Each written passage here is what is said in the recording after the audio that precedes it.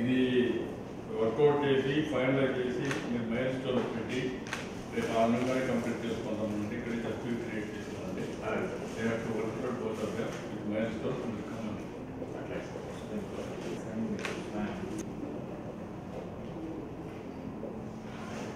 fine